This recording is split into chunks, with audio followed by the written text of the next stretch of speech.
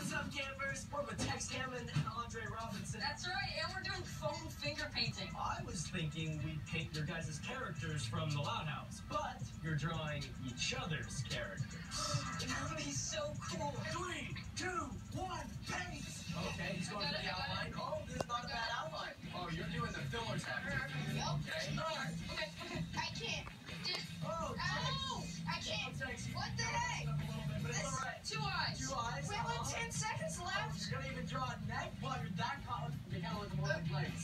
Um, it's like a what about the